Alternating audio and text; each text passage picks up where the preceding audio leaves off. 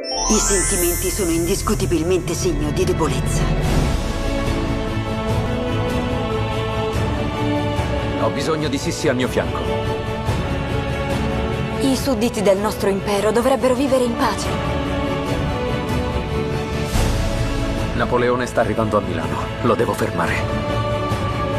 Non approfitterai di mio figlio per una guerra.